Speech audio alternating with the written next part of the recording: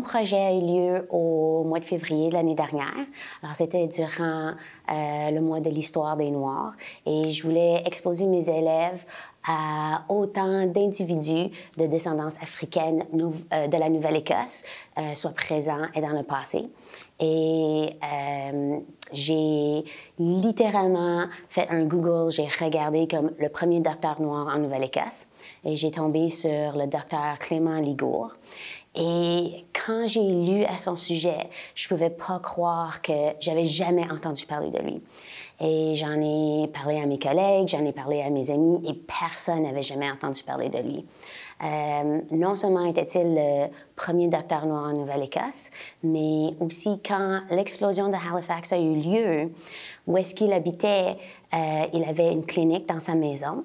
Et dans l'ouest de l'Halifax, euh, il était le seul docteur euh, dans cette région-là. Alors, plusieurs, plusieurs personnes sont venues. Euh, ceux qui n'ont pas pu être aidés par les hôpitaux sont venus à lui. Il y avait des gens qui dormaient dans sa cuisine, sa clinique était remplie.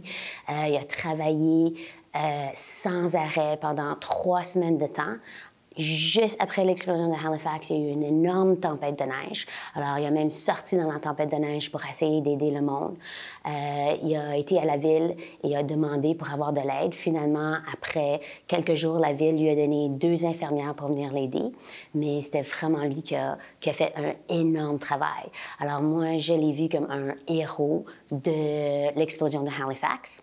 Et c'est comme ça que je l'ai introduit à mes élèves. Et euh, on a discuté du fait que ah, ça, c'est peut-être un personnage que les, les amis de l'école devraient euh, avoir la chance euh, d'apprendre un petit peu au sujet de lui. Alors, mes élèves ont écrit des faits à son sujet. On a fait un vidéo qui a été présenté à une assemblée virtuelle à l'école. Et on a aussi fait une petite recherche et on a réalisé que sa maison et sa clinique étaient très proches de l'école. Alors, les élèves ont trouvé ça vraiment intéressant. On a utilisé Google Maps puis Street View pour qu'il ait la chance de pouvoir voir sa maison. On a partagé cette information-là euh, avec les familles. Il y a plusieurs familles qui ont euh, pris le temps de passer devant la maison parce que la maison est encore là. Et les élèves revenaient à l'école et disaient Ah, oh, madame, madame, madame, j'ai vu sa maison! Euh, et on a discuté du fait que, OK, nos amis ne connaissaient pas du docteur Ligour, nos parents ne connaissaient pas. On veut que euh, encore plus de, du monde apprenne à son sujet. Alors, on a écrit une lettre aux mères et la lettre a été écrite par les enfants. Alors, c'était sur du, grand, grand papier. Ils l'ont écrit avec un marqueur. Chaque enfant a eu la chance d'écrire quelques mots dans la lettre et c'était dans leurs mots euh, l'importance du rôle du docteur Ligour et qu'on voulait, on aimerait qu'il y ait une reconnaissance euh, de sa maison, une plaque ou quelque chose qui euh, donnerait la chance à tout le monde qui vient à Halifax, non seulement les gens qui habitent à Halifax, mais tous les touristes, d'apprendre à son sujet.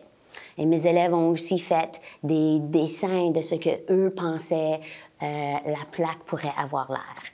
Et quand ils faisaient leurs dessins, il y avait un petit garçon dans ma classe qui... Euh, il y avait beaucoup, beaucoup de, docteurs avec des cœurs, euh, des lits, des gens qui, qui dormaient dans, les, dans, dans, sa cuisine, dans sa maison.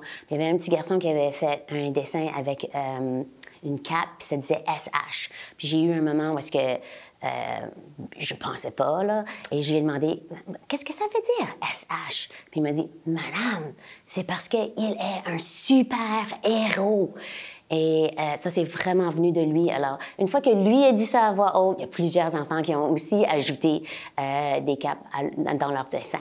Euh, mais les enfants le voyaient vraiment comme un héros et ils étaient excessivement fiers de pouvoir présenter ce héros-là euh, à tout le monde. Et même s'ils ont seulement 6, 7 ans, euh, ils se sont vraiment sentis comme s'ils ont fait une différence.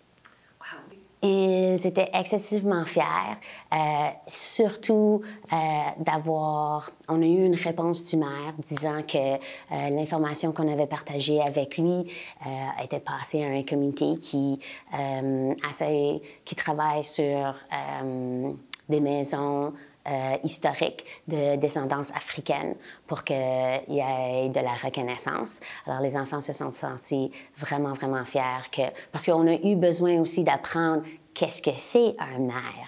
Parce que pour eux, ils n'avaient jamais réalisé que euh, ce côté-là euh, de la politique. Alors, de, savoir que quelqu'un dans une position aussi haute que ça, qui a eu la chance, qui a pris le temps de leur écrire et se sont sentis vraiment, vraiment fiers puis vraiment spécial.